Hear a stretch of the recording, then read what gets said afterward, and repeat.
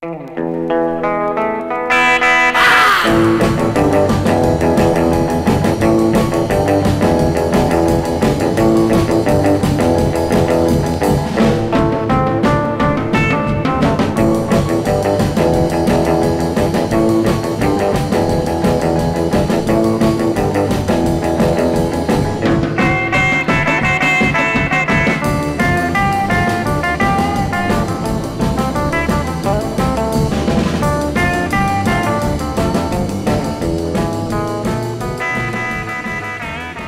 Welcome to One Pocket, a game of controlled aggression.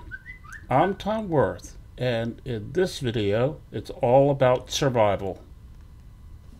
I will be showing you two examples of situations where your opponent has his game ball hanging in his pocket. To make matters worse, he also has a ball along his side rail and past the head string.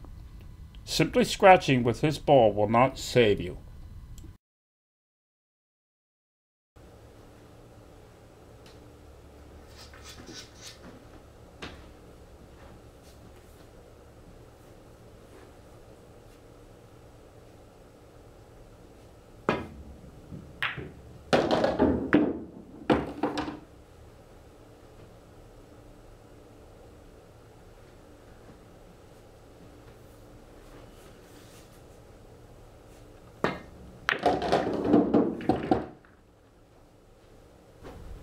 As you can see, I took the added effort to carom into the ball along my opponent's side rail, knocking it into the kitchen area.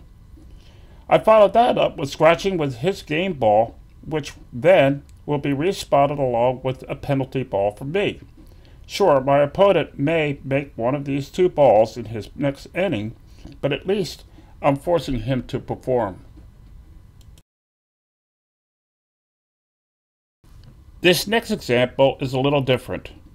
I have no ball I can pocket in my hole while at the same time finding a way to carry away the ball along my opponent's side of the table.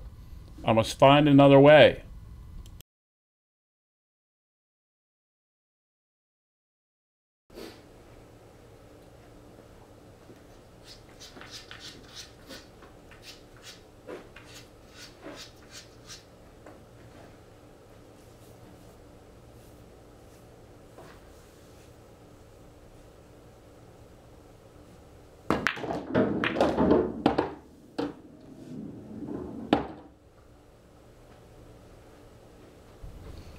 That will do just fine.